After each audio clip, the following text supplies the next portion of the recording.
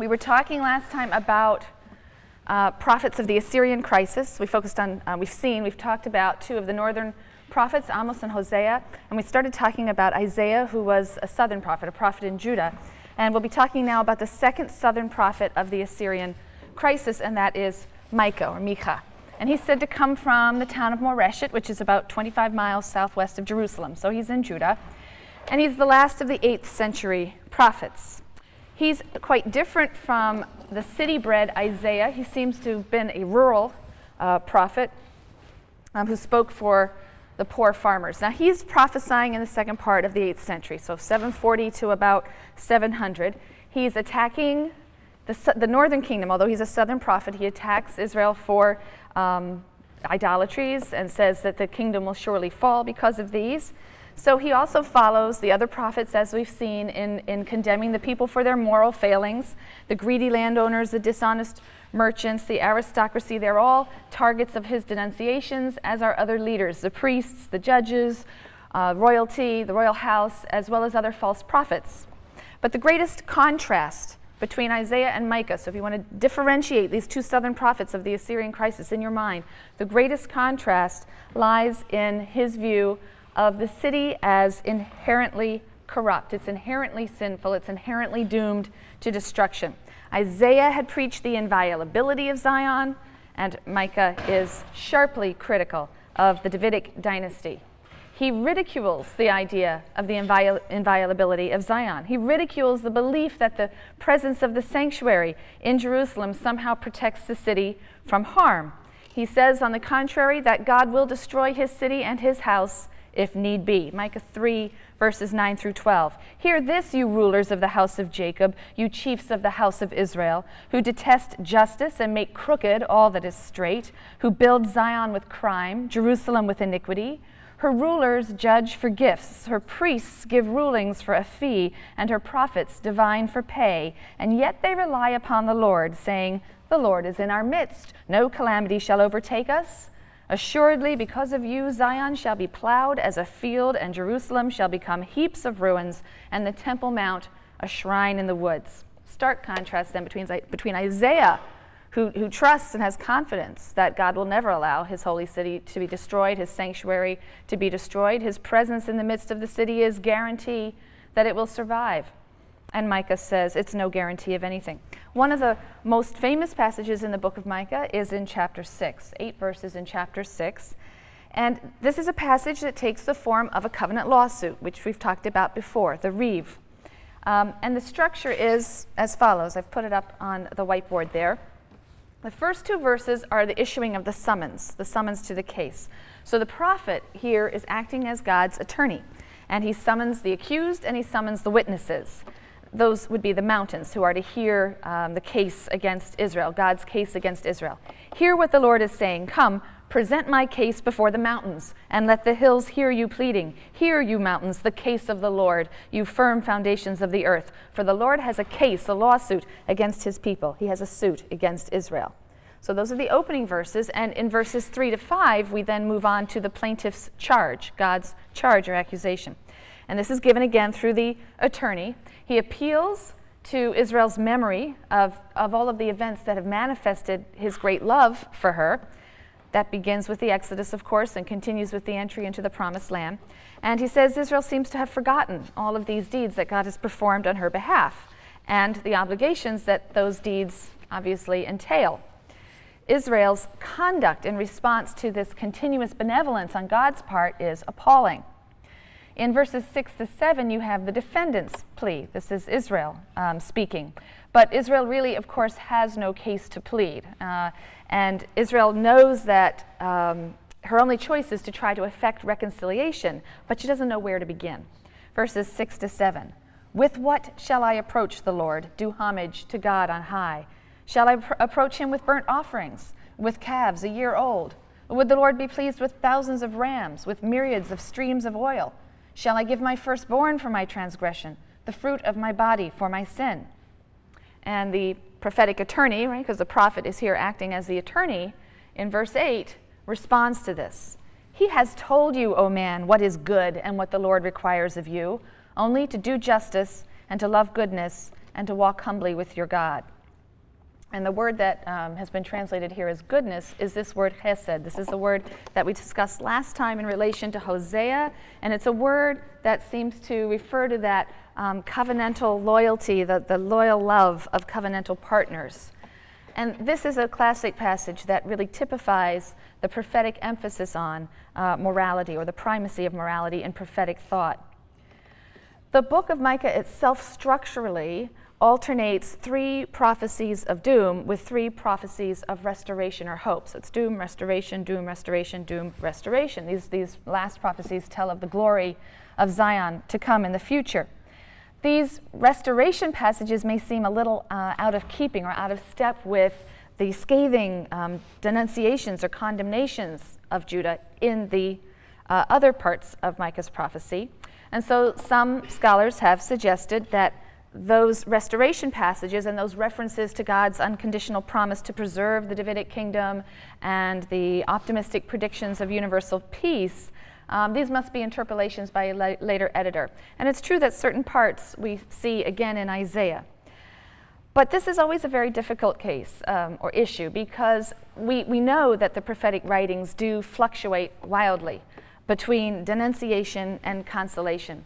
So I think that a shift in theme alone is not ever a certain basis for assuming interpolation. Outright contradiction, perhaps, but a shift in theme or tone is, is never a solid basis for assuming interpolation. Anachronism is a very good guide to interpolation. So Micah explicitly refers to the Babylonian exile, of course, and that's going to be in 586, and he's in the 8th century. Um, he's also going to refer to the rebuilding of the walls of Jerusalem. The walls of Jerusalem aren't even destroyed until 586 for anyone to even speak about rebuilding them. So those little units or passages may, of course, represent late, uh, late ed editorial interpolations. Um, but in its present form, and that, that nice structure of alternation of, of denunciation, restoration, denunciation, restoration, a pattern that happens three times, that structure is, I think, typical of the common paradox that we find in the prophetic writings, where they try to balance God's stern judgment on the one hand, his punishment, with his merciful love and salvation of his people. A further paradox lies in the very preservation of prophecies like Micah's prophecy. Um, these prophecies were probably preserved by priests in the temple, even though priests were very often among the targets of the prophets um, in their denunciations, particularly Micah. All right, so we've talked about the prophets who've responded to the Assyrian crisis, right, towards the end of the 8th century, two in the north, two in the south. Jerusalem survived the siege of 701 when the Assyrians laid siege um, in 701, and that gave credence to the um, royal ideology, uh, uh, the idea that uh, God was with Zion, was with Jerusalem, and was with the house of David and would preserve them. But even so, Judah moves into the next century, into the 600s, in a considerably weakened state after the siege. Um, and it's during that century, the first half of the next century, that Assyria reached the zenith of its, of its power. In Judah, you have King Manasseh reigning. Now, King Manasseh reigned for nearly 50 years. We're not sure of exact dates, but somewhere around the 690s to the 640s, about 640. 50 years. Now, remarkably, the Deuteronomistic historian devotes only 18 verses to this king who reigned for 50 years, and all of those verses are entirely negative. Uh, and that's in great contrast to their treatment of his father, Hezekiah, and his grandson who follows him, um, Josiah. Uh, Manasseh was apparently a loyal vassal of Assyria. And it, according to the biblical writer, he reversed the reforms of his father Hezekiah, who is said by the writer to have um, you know, destroyed idolatry and so on. Um, but he is said to have reversed that and, and to have adopted Assyrian norms. As we move through this century and move towards the, the latter half of this century, Assyria, which has overextended itself, is beginning to decline and some of the other states in the ancient Near East are able to break away. First, Egypt breaks away, Babylon breaks away. Josiah comes to the throne in Judah in 740. He sees Assyria's weakness, he decides to take advantage of that and asserts Judean independence, carries out a series of reforms we've talked about several times in 622, um, which include purging the cult, perhaps of Assyrian religious influences, centralizing worship um, of Yahweh only and in Jerusalem, and so on. So, this centralization of the cult served probably a politi- political agenda as well of asserting independence from Assyria. Assyria is continuing to decline towards the end of this century, and in 612, the capital, Nineveh, will fall. The Babylonians managed to conquer the Assyrians uh, and by destroying Nineveh. It's actually an alliance of Medes and Babylonians. So things are going quite well. Josiah is king, he's a favored king. But just a few years later, he will die in a battle against the Egyptians at Megiddo. So, just a little bit of historical background for you as we talk about the next prophets. All right, so Josiah, the king who's highly favored, will die in 609. Now, Zephaniah was a Judean prophet who prophesied during the reign of King Josiah. So, we're going to be moving on now to Zephaniah and Jeremiah as, as the Babylonian uh, prophets of the Babylonian crisis. So we're going to throw in a couple of prophetic characters along the way, but they'll be the two main prophets of the Babylonian crisis. Obviously, in the south, all we have now is the southern kingdom, Judah. Um, but I'll be picking up on two other prophets in a moment as well. So he prophesied during the time of King Josiah. Um, some of his prophecies seem to date to the time we think before Josiah's reforms in 622. And those prophecies tend to be very pessimistic and very grim. Judah is condemned. It's condemned for apostasy, it's condemned for decadence, um, all of the things that, that flourished under King Manasseh. God is wrathful and his, his wrath is imminent.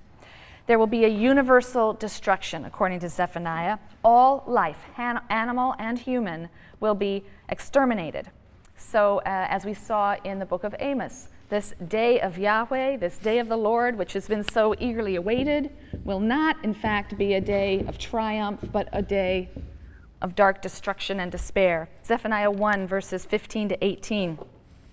That day shall be a day of wrath, a day of trouble and distress, a day of calamity and desolation, a day of darkness and deep gloom, a day of densest clouds, a day of horn blasts and alarms against the fortified towns and the lofty corner towers I will bring, bring, distress on the people, and they shall walk like blind men, because they sinned against the Lord. Their blood shall be spilled like dust, and their fat like dung. Moreover, their silver and gold shall not avail to save them. On the day of the Lord's wrath, in the fire of his passion, the whole land shall be consumed, for he will make a terrible end of all who dwell in the land. You can see why people didn't enjoy listening to these prophets. Um, but at the same time, like the other prophets, Zephaniah also offered hope. There will be a humble remnant which will seek refuge in God. Um, these will, these, these um, Jewish exiles, uh, he says, will be delivered from their oppressors, and even Gentiles will join in the worship of God. Zephaniah 3, uh, verses 11 to 13. In that day you will no longer be shamed for all the deeds by which you have defied me. For then I will remove the proud and exultant within you, and you will be haughty no more on my sacred mount. But I will leave within you a poor, humble folk. So, this idea of purging the dross and leaving the, the pure remnant. And they shall find refuge in the name of the Lord. The remnant of Israel shall do no wrong and speak no falsehood. A deceitful tongue shall not be in their mouths. Only such as these shall graze and lie down with none to trouble them. Uh, there will also be an ingathering of any exiled. Verse 20 At that time I will gather you, and at that time I will bring you home, for I will make you renowned and famous among all the peoples on earth when I restore your fortunes before their very eyes. There's one passage in particular that seems extraordinarily uh, joyous. Uh, it seems to announce the, the salvation as, as happening now, as present. And so a lot of scholars think that this was um, um, Zephaniah's reaction to Josiah and Josiah's reform, which seemed to him to perhaps be the very salvation um, for which uh, the nation was longing. Chapter 3, verses 14 and 15 Shout for joy, fair Zion. Cry aloud, O Israel. Rejoice and be glad with all your heart, fair Jerusalem. The Lord has annulled the judgment against you, He has swept away your foes. Israel's sovereign, the Lord is within you. You need fear misfortune no more. So this, this sounds very much like a, um, a reaction to these reforms initiated by Josiah. Th- this is hailed as the very restoration of God's presence in the community of Judah uh, that, that was desired. The judgment has been annulled. These terrible things I've been prophesying will not happen. Another short prophetic book we should mention now is the book of Nahum. Um, it's very different from the other prophetic books. It doesn't really contain prophecies and it doesn't really upbraid the people for their failings, which are two things that most of the other prophets do. Um, the book of Nahum is a short little book and it's really a three, uh, a series of three poems. And these are, uh, the first one is an acrostic poem, an alphabetical poem. Um, each, you know, lines beginning with successive letters of the, alpha, the Hebrew alphabet. And these poems rejoice over the fall of Nineveh in, in 612, um, the capital of the cruel Assyrian Empire.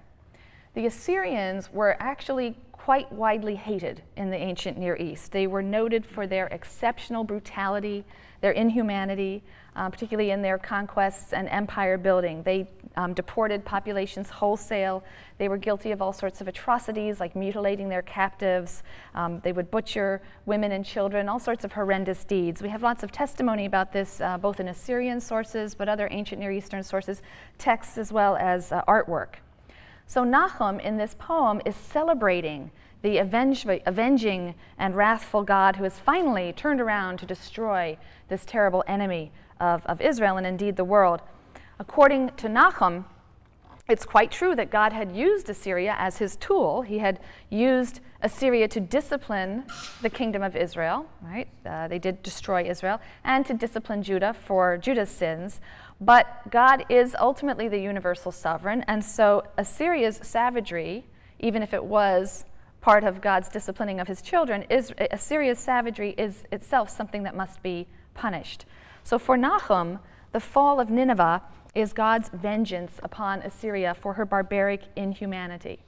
And the book of Nahum uh, has often been praised for its very vivid poetic style. It describes these armed legions that march against Nineveh and plundered its treasures. And some of the most exciting archaeology that's been going on has been uh, the digging up of, of, Nineveh. I think the dig has you know, obviously stopped for reasons having to do with the climate in that part of the world, but um, the, the, findings of, of Nineveh and the sacking of Nineveh and how you know shallow pits were dug and treasures thrown into them and covered over by the gates of the city as people were fleeing. And um, many of these things when you read the description of Nineveh and look at some of the archaeological data it's, it's quite fascinating. But Nahum looks forward to a happy era of freedom for Judah. And he says in 2 verse 15 for never again shall the wicked come against you well, this isn't true. And in fact, in a few years, Josiah is going to be killed. Um, Judah is going to be made subject to Egypt and, in fact, Babylon. By 605, um, Babylon manages to extract um, you know, tribute from Judah as a, as a vassal. Um, so, in a way, we have here really a glaring error. And it's important to note that this error in Nahum, it wasn't updated, it wasn't um, uh, repaired in order to uh, protect his prophetic reputation. So we see this interesting tension. We sometimes see um, prophetic books um, being uh, edited, revised, um, having interpolations put into them, partly out of this conviction that their words must be relevant and continue to have some relevance. And other times, there seems to be good evidence that prophetic oracles were preserved rather faithfully. But with the fall of Nineveh, um, national confidence was probably boosted, uh, and then things quickly turned sour with the death of Josiah in 609, which was a terrible shock, you have Judah lying trapped, as it were, between two great powers Egypt in the southwest, Babylon in the northeast. And in 605, as I said, Babylon managed to defeat Egypt and reduce Judah to the status of a tributary vassal under the king Jehoiakim. Um, king Jehoiakim rebels, um, and in response, the Babylonians lay siege to Jerusalem. There will be two sieges of Jerusalem by the Babylonians, just as we've had two sieges earlier. Two sieges, one in 597, one in 587, both under Nebuchadnezzar. He lays siege to Jerusalem in 597. It doesn't destroy Jerusalem. He kills the, the king, takes the king's son into captivity um, in Babylon, and installs a puppet king, um, still under the assumption that things could be kept under control. So the puppet king, Zedekiah, is on the throne, but he also decides to rebel and assert Judah's independence against the Babylonians. So Nebuchadnezzar returns, and this is in 587. And now the city is in fact captured, the sanctuary is completely destroyed, and the bulk of the population is exiled. And this is what brings to end uh, nearly 400 years of independent of an independent Hebrew nation. The book of Habakkuk was written during this period, sort of 600 to the destruction, somewhere in those years. That's the period in which the Babylonians attacked Jerusalem twice.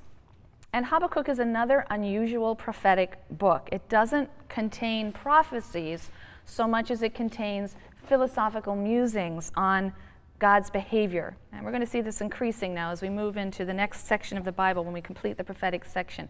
We'll be encountering writings of very different genres, and some of them do contain these philosophical musings on God's conduct. Habakkuk 1 and 2 are a kind of poetic dialogue between the prophet and Yahweh. And the prophet complains bitterly about God's inaction. Verses 2 and 3 of the first chapter how long, O Lord, shall I cry out and you not listen? Shall I shout to you violence and you not save? Why do you make me see iniquity? Why do you look upon wrong? Raiding and violence are before me. Strife continues and contention goes on. And skipping down to verses 13 and 14, you whose eyes are too pure to look upon evil, who cannot countenance wrongdoing, why do you countenance treachery and stand by idle while the one in the wrong devours the one in the right? You have made mankind like the fish of the sea, like creeping things that have no ruler. So God responds to these charges by saying that the Babylonians are the instruments of his justice, even though they ascribe their might and their success to their gods rather than to Yahweh. Now, we've already seen in other books the idea that um, a conquering nation is, is serving as the instrument of God's punishment. But Habakkuk is a little bit unusual because he doesn't couch this idea in the larger argument that Judah deserves this catastrophic punishment. There's a great difference between Habakkuk and the Deuteronomistic historian, for example, because Habakkuk doesn't assert that the people are suffering for their sins. Habakkuk is struggling with what appears to him to be a basic lack of justice, right? The Deuteronomistic uh, historian wants to assert God's justice, and whatever suffering happens is justifiable. Habakkuk is resisting that idea, and we're going to see that resistance really come to a climax next week when we talk about the book of Job. But Habakkuk in 1 4 struggles with this. Decision fails, and justice never emerges, for the villain hedges in the just man. Therefore, judgment emerges deformed. It's not merely that the wicked and the righteous suffer the same fate, it's that the wicked really seem to fare better than the just. And that reduces humankind to the level of fish and creeping things for whom sheer power and not morality is the principal consideration. And having made this charge, Habakkuk awaits God, God's answer. In chapter 2, verses 1 to 5, he says, I will stand on my watch, take up my station at the post, and wait to see what he will say to me, what he will reply to my complaint. The Lord answered me and said, Write the prophecy down, inscribe it clearly on tablets so that it can be read easily. The righteous man is rewarded with life for his fidelity how much less then shall the defiant go unpunished? Not a terribly deep answer. The righteous simply have to have faith that justice will prevail, and this faith has to sustain them through the trials that challenge that very idea. We'll see a deeper answer to the same problem in the book of Job. The third chapter then shifts gears. So much so that once again scholars say it must be an interpolation. Um, but again, I would warn that dramatic shifts in tone and theme are not that uncommon in the prophetic books, and we have to be careful. But in this third chapter, God is described as a warrior God. Uh, he thunders from the east, he hurls his spear, he seeks vengeance on Israel's oppressors. It may be that this is some editor's attempt to um, respond to Habakkuk's skepticism that Yahweh will bring justice and bring it soon, that he's waiting. How long? Why is this taking you so long? Why are you not acting? And this image of um, an avenging warrior God um, answers Habakkuk's opening question How long will God stand by and watch while the Babylonians rape and pillage? Uh, but on the other hand, it's possible that it's Habakkuk himself, and again, the book exhibits that same paradoxical tension we've seen through so many of the prophetic books. Specifically, he holds out the paradoxical view that God's injustice, God's justice is slow in coming, but the righteous must have complete faith in its ultimate execution.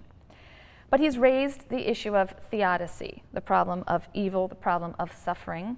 Um, ultimately, he sees the problem's resolution only in some vision of the future, an avenging God, when justice will be done. That is typical of some texts that we will see later, particularly apocalyptic literature, which is going to emphasize patient waiting for an end time where there will be a cataclysmic final act that will bring justice and judgment. Now, the prophet who lived at the time of the final destruction of Judah and saw the fall of Jerusalem at the hands of the Babylonians in 587 was the prophet Jeremiah. Another one, uh, another long prophetic book. So we have our three long prophetic books Isaiah of the Assyrian crisis, Jeremiah of the Babylonian crisis, and Ezekiel writing from exile in Babylon. And Jeremiah was born of a priestly family in a village near Jerusalem, Anatot, and he began prophesying while he was still a boy. Now, he was a contemporary of King Josiah, and, and so he saw the, uh, the Renaissance that briefly occurred under his guidance, the sweeping reform, the eradication of Assyrian influences that had been welcomed by King Manasseh, the renewal of the covenant, uh, all of these activities that are so highly favored by the biblical writer. And when Josiah died, Jeremiah also lamented his passing, uh, along with the rest of the nation. Jeremiah witnessed the final destruction and the exile. Um, the book of Jeremiah is a collection of very different types of material. There's really no clear organization, there's no clear chronological order, not the kind of thing you can just sort of sit down and read from beginning to end and hope it'll make sense.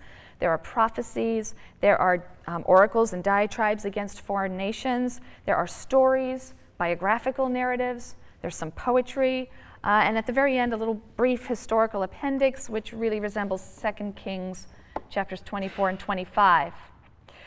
So the literary history of, of the book itself is also quite complex because there's a great variation in our ancient witnesses. The Septuagint, which is the Greek translation of the Bible, third century BCE Greek translation of the Bible, is its Jeremiah is much shorter than the Hebrew version of Jeremiah uh, and it's arranged differently. Right? Internally, uh, the arrangement is different.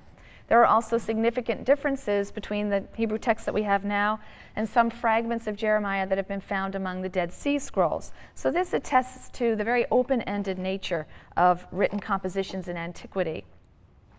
We find three main types of material, however, in Jeremiah, the poetic oracles that um, generally are attributed to Jeremiah, then biographical um, anecdotes and narratives about him, which are attributed to his amanuensis and assistant, whose name I don't think I put up here. Baruch ben Neriah, ben simply meaning son of. So Baruch, the son of Neriah, whose, uh, whose name comes up quite a bit in the book of Jeremiah. And he is a scribe who assists Jeremiah. And it's thought that perhaps the biographical narrative sections were composed by Baruch ben Neriah. Then we also have certain editorial notes about Jeremiah, Jeremiah that are in the style of the Deuteronomistic historian, um, Deuteronomistic editor. Um, Jeremiah in general seems to have very close connections with the language and the ideology of Deuteronomy.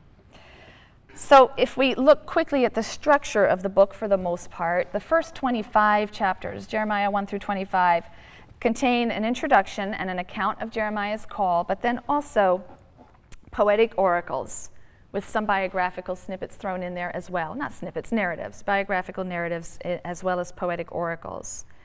26 to 29, we have stories of his um, encounters, I should say run ins, with other prophets and with authority figures of various types. Chapters 30 to 33 are oracles of hope and consolation. 34 to 45 are more prose stories, and these stories center around and after the time of the final destruction. Then we have several chapters, 46 to 51, that contain oracles against um, nations. Some of these um, scholars think might be from other writers. And then again, as I say, it concludes with this historical appendix about the fall of Jerusalem that's extracted from 2 Kings. Now, Jeremiah preached the inevitable doom and destruction of the nation because of its violation of the covenant which was the very charter for her existence, and his descriptions were quite vivid and quite terrifying. He denounced Israel's leaders, the professional prophets in particular, with whom he has many uh, encounters. Um, the professional prophets are liars, he says, because they prophesy peace. He has some negative references to priests as well, but he's especially critical of King Jehoiakim, who's the son of Josiah. He can be compared to Micah because he also attacked this idea, this popular ideology of the inviolability of Zion. As long as injustice and oppression are practiced in Judah, the presence of the temple is no guarantee of anything. Judah will suffer the fate that she deserves for failure to fulfill her covenantal obligations. So God tells Jeremiah to go stand at the gate of the temple and speak these words. And this is a passage that's often referred to as the temple sermon. It's from chapter 7. Thus said the Lord of hosts, the God of Israel Mend your ways and your actions, and I will let you dwell in this place. Don't put your trust in illusions and say, the temple of the Lord, the temple of the Lord, the temple of the Lord are these buildings. No, if you really mend your ways and your actions, if you execute justice between one man and another, if you do not oppress the stranger, the orphan, and the widow, you hear the language of Deuteronomy, right? Those three are always together in Deuteronomy, drawing very heavily on the same language. If you do not oppress the stranger, the orphan, and the widow, if you do not shed the blood of the innocent in this place, if you do not follow other gods to your own hurt, then only will I let you dwell in this place, in the land that I gave your fathers for all time. See, you are relying on illusions that are to no avail.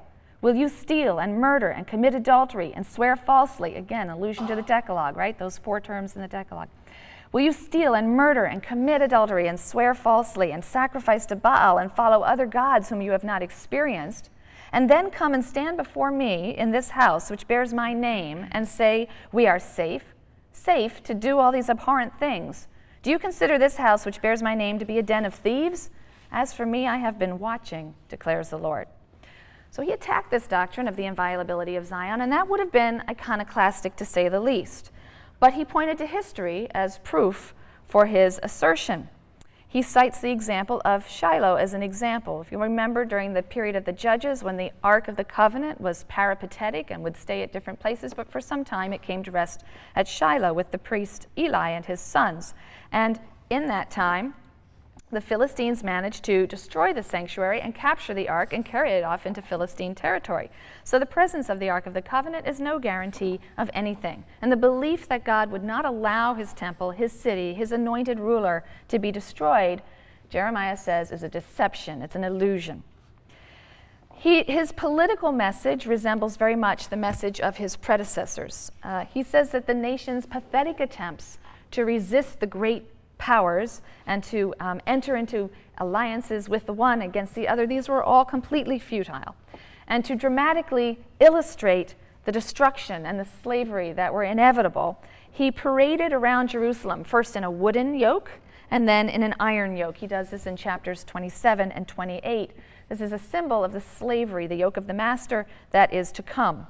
In chapter 27, verse 6, he claims that God has power over all the earth and has given the earth to Nebuchadnezzar of Babylon, God's servant. As you can imagine, referring to the destroyer of the nation as God's servant would have been shocking, not to say dangerous. You can imagine parallels in our own time where people would see the God most commonly understood to be the God of most Americans being the one who orchestrated attacks against us. It would have that same kind of feel and power to people. And in several passages, Jeremiah exhorts the king to submit to the Babylonian forces. This is acceptance of God's will, the forces that are surrounding Jerusalem. Um, to ensure the preservation of his words, which were not popular, Jeremiah had his amanuensis Baruch write down everything that God spoke to him. Chapter 36 gives us an insight into this process. It's kind of interesting because um, Jeremiah, uh, uh, Jeremiah's words are transcribed. God specifically tells Jeremiah how, how to do this. Get a scroll, he says, and write upon it all the words that I have spoken to you concerning Israel and Judah and all the nations, from the time I first spoke to you in the days of Josiah to this time. Now it's the time of King Jehoiakim. And then in verse 4 we read So Jeremiah called Baruch son of Neriah, and Baruch wrote down in the scroll at Jeremiah's dictation all the words which the Lord had spoken to him. Now, Jeremiah is in hiding at this time because he's politically very unpopular. So he instructs Baruch to take the scroll to the temple and to stand there and to read it to the people. The king's officials are there. They report to the king about the submersive, the subversive message which has been delivered by Baruch. So Baruch goes into hiding. The scroll is torn into strips and burned. God orders Jeremiah to get another scroll. and repeat the process. And he does. Verse 32 of chapter 36. So Jeremiah got another scroll and gave it to the scribe Baruch, son of Neriah. And at Jeremiah's dictation, he wrote in it the whole text of the scroll that King Jehoiakim of Judah had burned, and more of the like was added. so, and then some, right? They, they came back with even more. So it's possible that these, some scholars suggest that what was written um, would have been the contents of chapters 1 to 25, which really contains the oracular material, the oracles. Um, but in any event, this story gives us some insight into the, the process of prophecy. It doesn't appear to have been really off the cuff. The compositions of the prophets were literary compositions that were committed to memory. They could then be dictated again.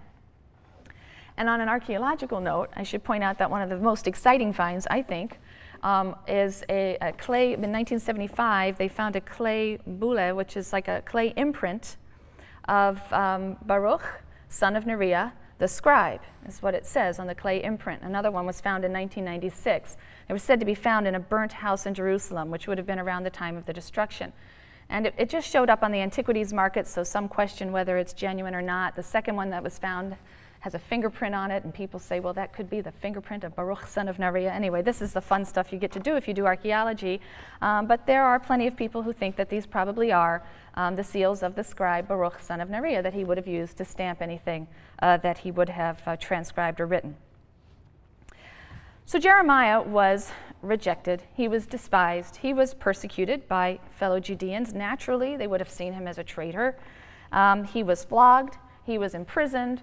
Uh, often in his life, he was in hiding. He was a very troubled person, and he lived in very difficult times. But he, we also get an insight into um, his, his emotional state, which we don't for many of the other prophets. He suffered immensely. He weeps over Jerusalem in chapter 8 uh, and 9.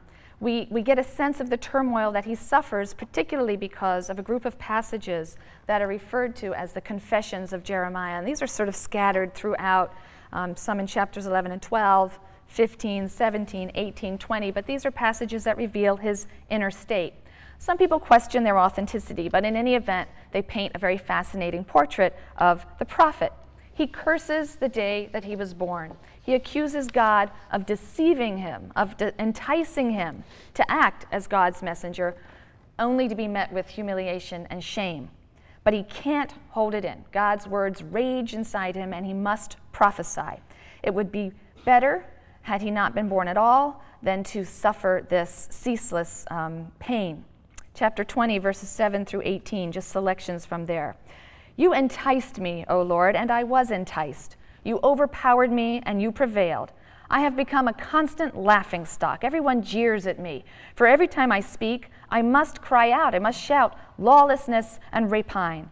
For the word of the Lord causes me constant disgrace and contempt. I thought, I will not mention him, no more will I speak in his name. But his word was like a raging fire in my heart, shut up in, shut up in my bones. I could not hold it in. I was helpless. I heard the whispers of the crowd, terror all around. Inform, let us inform against him. Accursed be the day that I was born. Accursed be the man who brought my father the news and said, A boy is born to you, and gave him such joy. Let that man become like the cities which the Lord overthrew without relenting, because he did not kill me before birth, so that my mother might be my grave, and her womb big with me for all time. Why did I ever issue from the womb to see misery and woe, to spend all my days in shame? Nevertheless, despite all of his very harsh criticisms of, of the authorities, establishment authorities, the royal house, and even scribes, other prophets um, who are labeled as liars by Jeremiah. His words were preserved by scribes, by the Deuteronomistic editors. Shortly after the fall of Judah, uh, Jeremiah was taken forcibly to Egypt, and he lived his final years out in Egypt. He didn't give up his job, though. He kept denouncing people. He um, we have uh, records of his denouncing his fellow Judean exiles down in Egypt uh, for worshiping the Queen of Heaven. Uh, and as before, it seems very few heeded him there. But like the earlier prophets, Jeremiah also balanced his message with a message of consolation. And there's some very interesting and unique features of Jeremiah's message of consolation. These are particularly, these passages are found particularly in chapters 30 to 33, where we have more hopeful um, prophecies. He envisages a restoration. The exile will come to an end. And in fact, Jeremiah is the first to actually set a time limit to what we might refer to as the dominion of the idolaters, the idolaters holding sway over God's people. And that time limit, he says, is 70 years. Jeremiah writes a letter um, to the first group of deportees. So remember the first siege in 597, you have the king killed, his son, and many people taken into exile in Babylon. Jeremiah from Jerusalem writes a letter to that first group of exiles. And it's quite remarkable, it's found in chapter 29, and it's quite remarkable for its counsel, its advice to the exiles to settle down in their adopted home and just wait out the time. There is an appointed end. He warns the people not to listen to prophets who say you will return shortly. It's just a lie. The Israelites have to serve the king of Babylon, and by doing so, they will live. So in Jeremiah 29, verses 4 to 7, Thus said the Lord of hosts, the God of Israel, to the whole community which I exiled from Jerusalem to Babylon. He's writing to the exiles. Build houses and live in them. Plant gardens and eat their fruit.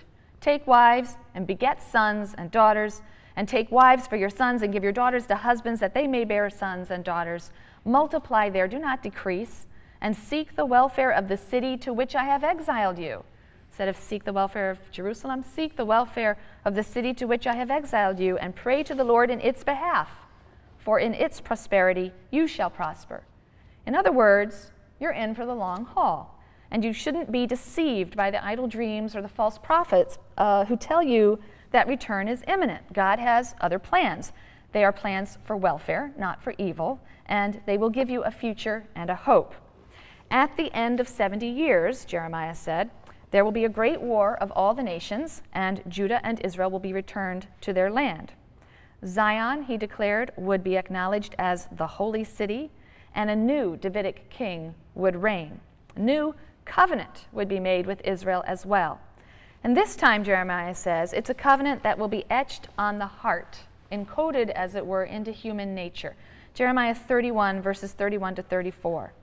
See, a time is coming, declares the Lord, when I will make a new covenant with the house of Israel and the house of Judah it will not be like the covenant I made with their fathers when I took them by the hand to lead them out of the land of Egypt, a covenant which they broke, so that I rejected them, declares the Lord. But such is the covenant I will make with the house of Israel after these days, declares the Lord.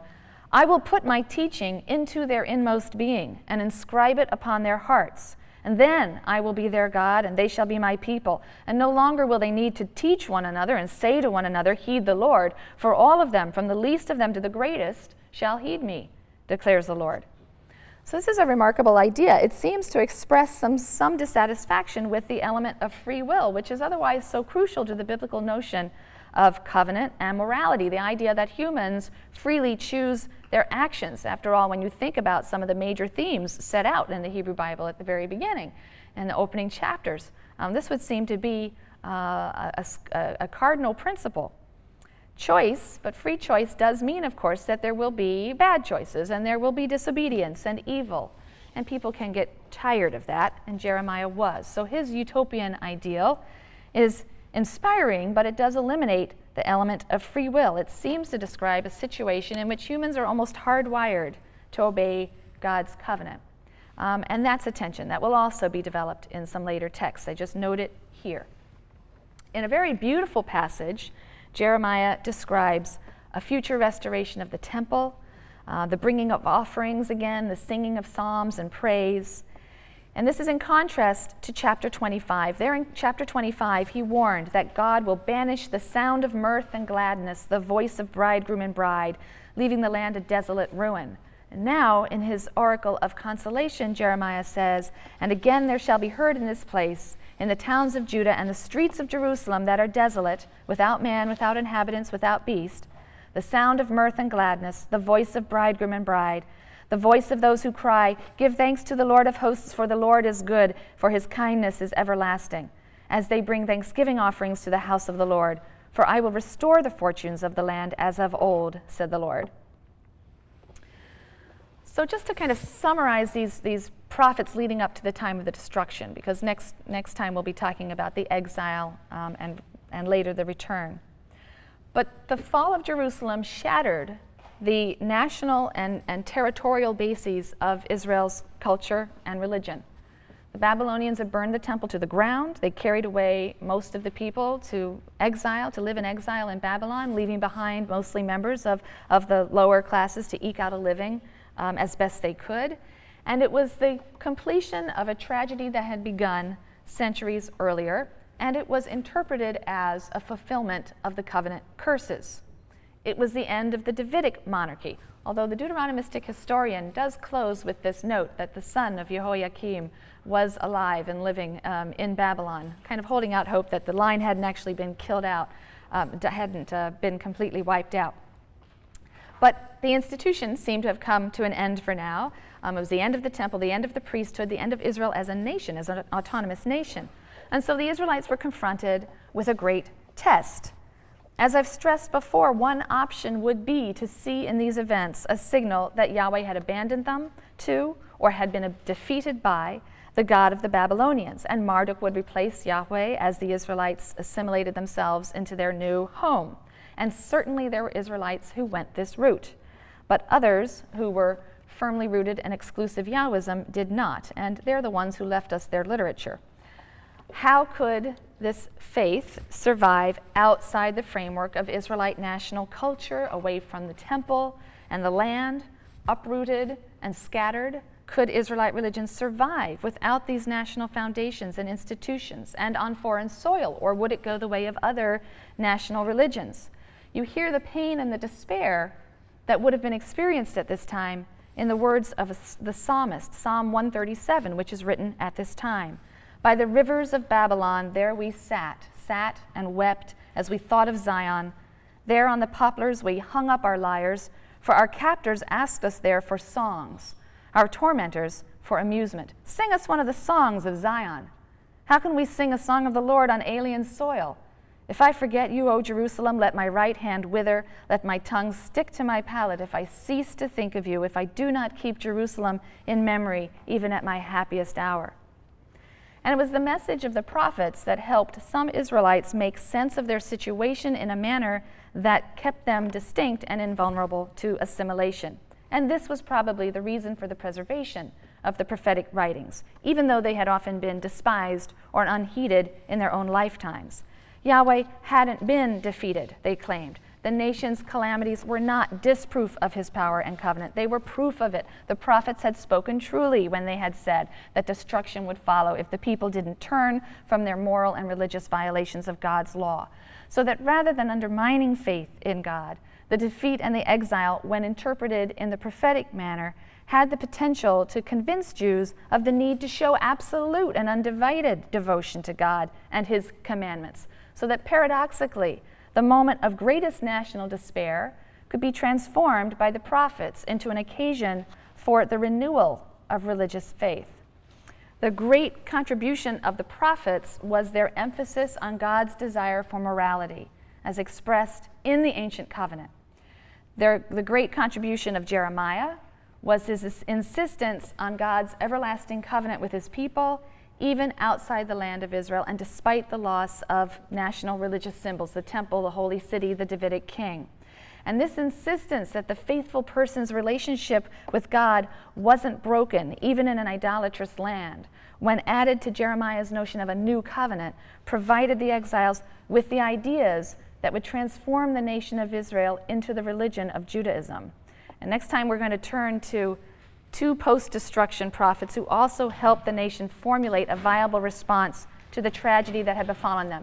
This is the point at which we can begin to use words like Judaism.